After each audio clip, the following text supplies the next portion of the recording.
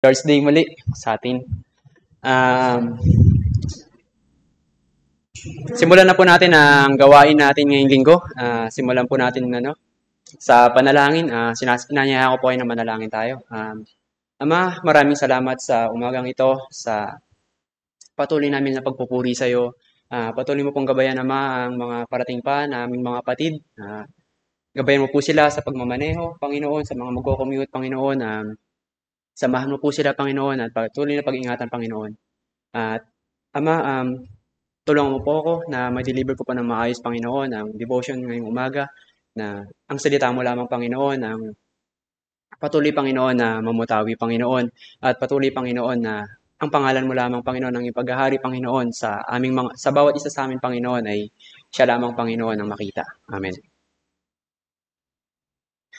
Uh, muli, um, good morning. No? Sa pag-start ng devotion natin ngayon, ang title po ng devotion ko po ngayong umaga ay You are not able to do it alone. Na bago po magsimula, ayan niyo po na basahin ko po sa eh, ano ang ang, ang key text po pala natin ngayon sa umaga ay ang Exodus 18 chapter 1 chapter 18 verses 1 to 27. Basahin ko po sa Tagalog.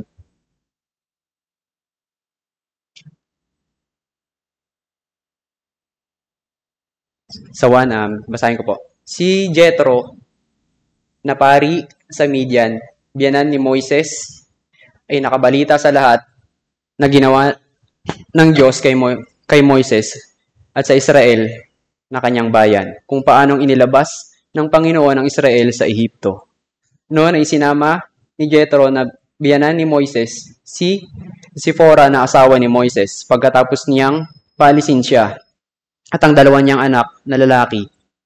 Ang pangalan ng isay Gershom sapagkat sinabi niya ako'y naging manalakbay sa ibang lupain. Verse 4. At ang pangu at ang pangalan ng isay Eliezer, Eliezer sapagkat kanyang sinabi, ang Diyos ng aking ama ang aking naging saklolo at ako'y iniligtas sa tabak ng paraon. 5. Si Jethro, na biyanan ni Moises ay dumating nakasama ang kanyang mga anak at ang kanyang asawa kay Moises sa, sa ilang kung saan siya humimpil sa bundok ng Diyos. 6. Kanyang ipinasabi kay Moises, Akong iyong, akong iyong biyanan, si Jethro ay naparito sa iyo kasama ang iyong asawa at ang kanyang dalawang anak na lalaki. 7. Si Moises ay lumabas upang salubungin ang kanyang biyanan at kanyang niyukur, niyukuran at hinalikan at hinalikan. Sila'y nag tanungan sa isa't isa ng kanilang kalagayan at sila'y pumasok sa tolda. Sinilaysay ni Moises sa kanyang biyanan ang lahat ng ginawa ng Panginoon sa paraon at sa mga Ehipsyo, alang-alang sa Israel, ang lahat ng hirap ng kanilang naranasan sa daan at kung paanong iniligtas sila ng Panginoon. Verse 9. Kinag, ikinagalak ni Jethro ang lahat ng kabutihang ginawa ng Panginoon sa Israel na iniligtas sila sa kamay ng Ehipsyo. 10. At sinabi ni Jethro, Purihin ang Panginoon na nagligtas sa inyo sa kamay ng Ehipsyo at sa kamay ng Faraon. Ngayon aking nalalaman na ang Panginoon ay lalong dakila kaysa lahat ng mga Diyos sapagkat iniligtas niya ang bayan mula sa kamay ng Ehipsyo. Nang sila'y magpalalo laban sa kanila, si Jethro na biyanan ni Moises ay kumuha ng handog na sinu, sinusog at mga alay para sa Diyos. Si Aaron ay dumating kasama ang lahat ng matatanda sa Israel upang kumain ng tinapay na kasalo ng biyanan ni Moises sa harap ng Diyos. 13. Kinabukasan, si Moises ay naupo bilang hukom ng bayan at ang taong, at ang taong bayan ay tumayo sa palibot ni Moises mula sa umaga hanggang sa gabi. Nang makita ng biyanan ni Moises ang lahat ng kanyang ginawa para sa taong bayan ay sinabi niya, ano itong ginagawa mo para sa bayan? Bakit nauupo kang mag-isa at ang buong bayan ay nakatayo sa palibot mo mula umaga hanggang sa gabi? 15. Sinabi ni Moises na kanyang biyanan, sapagkat sa sinabi ni Moises sa kanyang biyanan, sapagkat ang bayan ay lumalapit sa akin upang sumangguni sa Diyos. Kapag sila ay may usapin, lumalapit sila sa akin at aking hinahatulan ng isa, ang isang tao at ang kanyang kapwa aking ipinaalam sa kanila ang bat ang bata ang mga batas ng Diyos at ang kanyang mga kautusan. 17, sinabi ni, ng biyanan ni Moises sa kanya, Ang iyong ginagawa ay hindi mabuti. Ikaw at ang mga taong kasama mo ay manghihina sapagkat ang gawain ay totoong napakabigat para sa iyo. Hindi mo ito makakayang mag-isa. 19. Ngayon makikita, ngayon makinig ka sa akin. Bibigyan kita ng payo at, sumai at sumaiyo nawa ang Diyos. Ikaw ang magiging kinatawan ng bayan sa harap ng Diyos at dalhin mo ang kanilang mga usapin sa Diyos. 20. Ituturo mo sa kanila ang mga batas at ang mga kautusan at ipapaalam mo sa kanila ang daang nararapat nilang lakaran at ang gawang kanilang nararapat gawin. 21. Bukod dito'y pipili ka sa buong bayan ng mga lalaking may kakayahan gaya ng mga may takot sa Diyos, mga lalaking mapagkakatiwalaan at mga napopoot sa, sa suhol. Ilagay mo ang mga lalaking iyon na, na, na mamuno sa kanila, mamuno sa libo-libo, sa daan-daan, sa limamput at sampu-sampu. 22. Hayaan mong humatol sila sa bayan sa lahat ng panahon. Bawat malaking usapin ay dadalhin nila sa iyo, ngunit bawat munting usapin ay sila sila ang magpapasya upang maging mas madali para sa iyo at mapapasan silang kasama mo. 23. Sapagkat ginawa mo ang bagay na ito at iyon ay iniutos sa iyo ng Diyos. Ikaw ay makat- makakatagal at ang buong bayan, bayang ito ay uuwing payapa. 24. Kaya't pinakinggan ni Moises ang kanyang biyanan at ginawa ang lahat ng kanyang sinabi. 25. Pumili si Moises ng mga lalaking may kakayahan sa buong Israel at ginawa niyang pinuno sila sa bayan. Mga pinuno ng libo-libo, ng daan-daan at limam, lima-limamput at sampu-sampu. Pumatol sila sa bayan sa lahat ng panahon at ang mabibigat na usapin ay kanilang dina, dinada, dinadala kay Moises. Subalit bawat munting usapin ay sila-sila ang nagpapasya. 27. Pinayagan ni Moises na umalis na ang kanyang biyanan at siya ay umuwi sa sariling lupain. Um, konting bold lamang po sa chapter 18. Napakagandang ano po nito no ng ng ano na to dahil sa chap sa mga bago bago pa po magdumating ang chapter 18, ano po sila? Ito po yung pag-alis nila, yung tinulungan sila ng Panginoon para umalis sa pag-aalipin sa ano sa bayan ng Ehipto na ang buong Israel ay napapasailalim sa kamay ng isang ng paraon sa Ehipto na naging ano sila naging slave mga alipin. Um, summary lang po. Um, Dito, sa summary lang po ng buong chapter 18, dito po ay binisita ni Moises, si Moises ng kanyang biyanan na si Jethro matapos na mabalitaan nito na ang himala ng ang himala na ginawa ng Diyos para sa Israelite, kabilang kabilang ang paglaya nila sa Ehipto. At ang pinaka-highlights po ng chapter na to ay yung pagpapayo ni Jethro kay Moises sa ano, yung sa mga decision niya na gagawin at yung mga mga pra- mga practical na gagawin ni Moises para sa pag ano, paghahatol niya sa bayan ng isa. Pag, pagbibigay niya ng hatol sa mga decision sa mga usapin ng ano, ng mga tao sa Israel kasi nasa ano na sila nito eh, nasa wilderness na sila nito. Yung kumbaga kakatapos lang nila ng ano ng ng gera sa Amalik sa Amalekites, sa mga taga-Amalekites. Bali parang tahingan nila to tapos may mga kanya-kanyang issue yung bawat isa, yung mga tao sa Israel tapos sinasangguni nila kay Moises. Bali, ayun, ito yun yung panahon na yun. Bigyan, bigyan ko lamang po ng background no, si Moises. No? Si, si Moises po, siya po yung siya po yung pinanganak sa bayan ng Israel, ay sa, sa bayan ng Ehipto na ano, na ginawang alipin ng ano, at isang tinuring, na tinuring na propeta, no?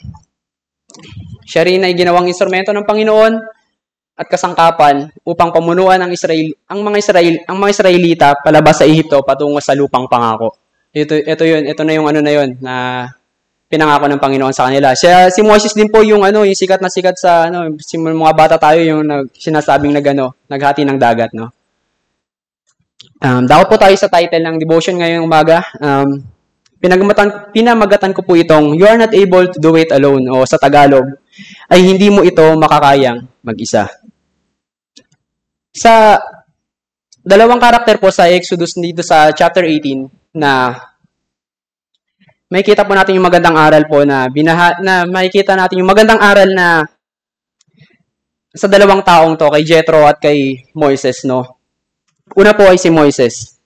Basahin ko po yung sa, talon po na po tayo sa verse 13 hanggang 16. Basahin ko po sa Tagalog ulit.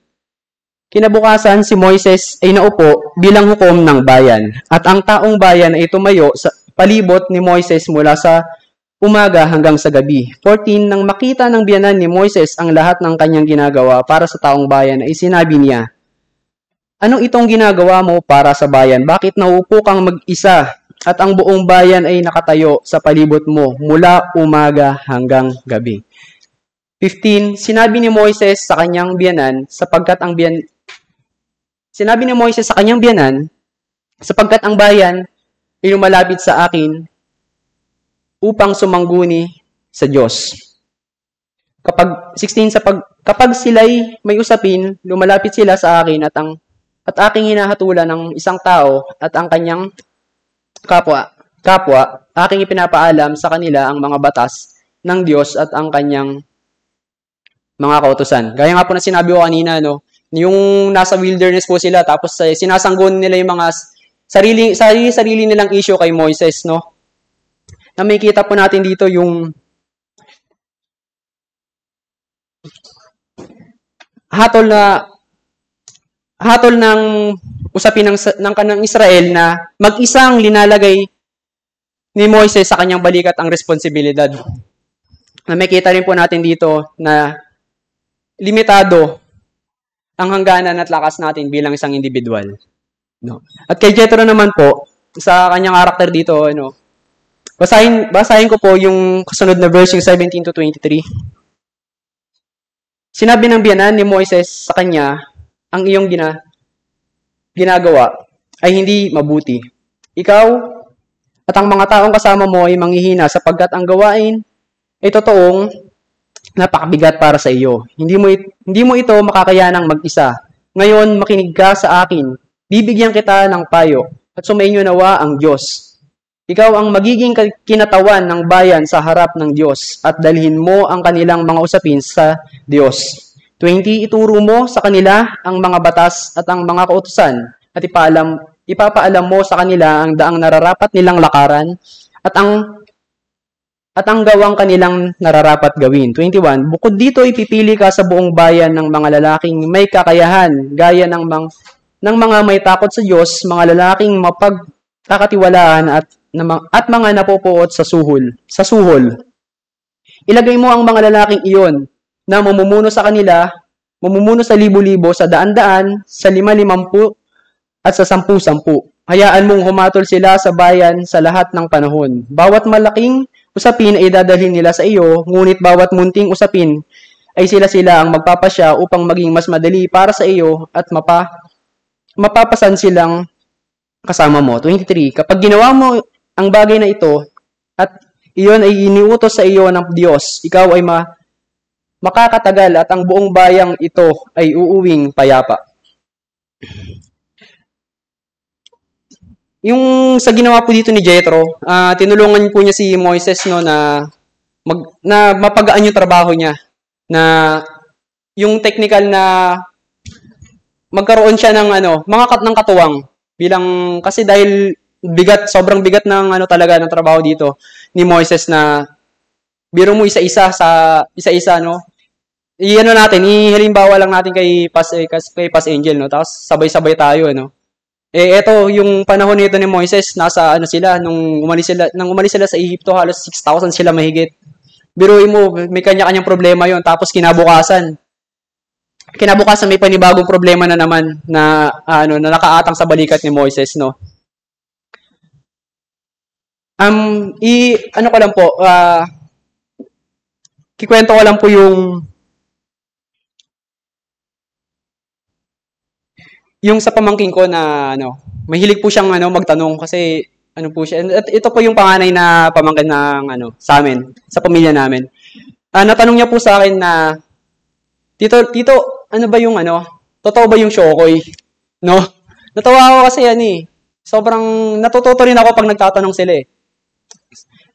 kung puro kalokohan lang yung ano, kung puro kalokohan lang talaga yung pinagsasabi ko doon, siguro ngayon na naniniwala siya na totoo pa rin yung show ko. Siyempre, sinabi ko yung ano, yung kung totoo ba yung show ko yun, hindi. Ang sabi ko sa kanya, ah, uh, ano, ganito yan. Yung show ko kasi ano yun eh, katang-isip ng tao yan, ng mga malalapit sa dagat na, ng mga matatandang malalapit sa dagat.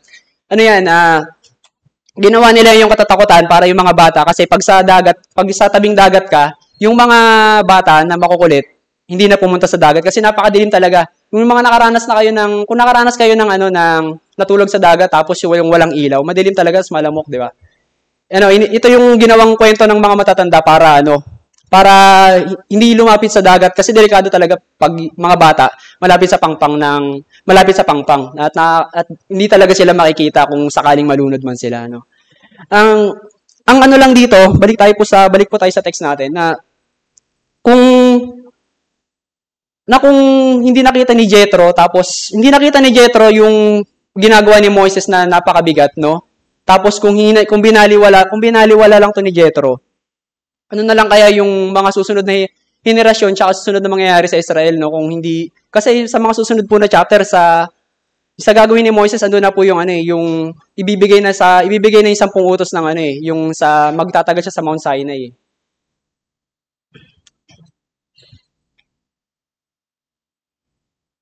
Imagine lang no kung hindi tinap ni hindi tinap ni Jethro si Moises sa balikat niya na eto ganito gawin mo kung hindi siya pinayuan ng magandang payo no. Na, na yung kagaya ng kwento ko kanina sa pamangkin ko na kung kung puro kalokohan lang yung pinagsasabi ko doon, 'di ba? Ano na lang, ano na lang ang nangyari? Ano na lang yung ano? Nakita ko naman na nag-agree siya eh, na nag-oo siya, tumango siya sa akin, na hindi na siya ulit nagtanong. Ang napakagandang aral po na makita natin dito sa chapter 18 ay pinakinggan ni Moises yung payo ng biyanan niya. No? Ito po yung may kita sa verse 24. Basahin ko po. Kaya't pinakinggan ni Moises ang kanyang biyanan at ginawa ang lahat ng kanyang sinabi. Umili si Moises ng mga lalaking may kakayahan, kakayahan sa buong Israel.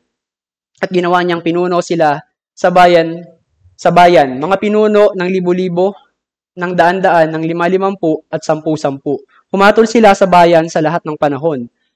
At ang mabibigat na usapin ay kanilang dinadala kay Moises, subalit ang munting usapin ay sila sila sila sila ang magpapasya. Pinayagan ni Moises na umalis na ang kanyang biyanan at sila ay umuwi sa sariling lupain.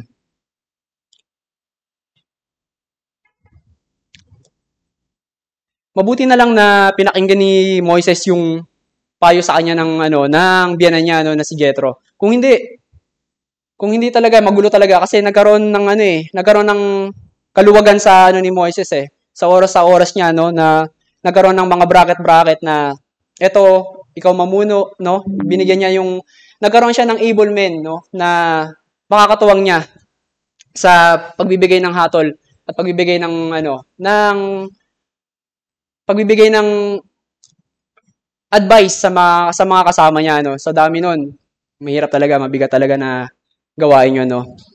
Isang aral din na makikita natin na ginawa ni Jethro, yung pagtap sa balikat ni Moises, no?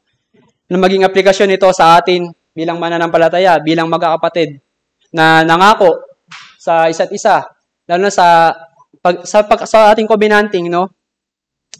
Na patuloy na magkamustahan, na patuloy itap yung isa't isa, patuloy na kumustahin. O kung nahihiya ka talaga, kung hindi mo talaga nakakausap o hindi ka talaga kayo nag hindi kayo talaga nag ano, nag uh, nagka ano ng ngayong ngayong araw o hindi talaga kayo nagka parang nagkaroon ng conversation, no? I-ano mo siya, ibabad mo siya sa ano, isama mo siya sa panalangin mo sa araw-araw, no? Doon matutulungan natin yung bawat isa na na ano, na patuloy na na, na ilatag din natin sa ating mga ang ating kamay sa ating mga kapatid na nadapa. Na tulungan natin sila na laging ano kumustahin laging reach out no? Ayun lamang po uh, manalangin po tayo. Um, ama maraming salamat sa biyaya mo sa pagbibigay Panginoon ng aral Panginoon na sa napakaikling devotion Panginoon na ibinahagi ko Panginoon na magkaroon po na yung aral po Panginoon na pinakita mo sa amin na, na nakita namin, Panginoon, sa ginawa ni Jethro at ni, Bo, ni Moises, Panginoon, sa may magiging aplikasyon, Panginoon, nito sa amin, Panginoon, bilang isang individual na hindi namin kaya, Panginoon, na sarili lang namin, Panginoon, yung magtiwala, Panginoon, sa amin sa sarili lamang kakayanan. Bagkos, Panginoon, ay patuloy, Panginoon, na magpanalanginan at patuloy, Panginoon, na itapang bawat isa. Patuloy na kumustahin, Panginoon. Patuloy, Panginoon, na magtiwala, Panginoon, sa itinalaga naming pastor na mag-aalaga sa aming mga kaluluwa, Panginoon. At matuloy, Panginoon, na kumapit sa iyong salita na patuloy, Panginoon, na ang salita mo, Panginoon, ay maging gabi sa aming buhay. Na ang, ang pagiging Diyos at hari mo, Panginoon, ay patuloy, Panginoon, namin na patuloy, Panginoon, namin na maging pang-araw-araw, Panginoon, na mitiin. At ang iyong Panginoon na tapos nagawa ay siyang maging gabay sa amin, Panginoon, sa araw-araw. Amen.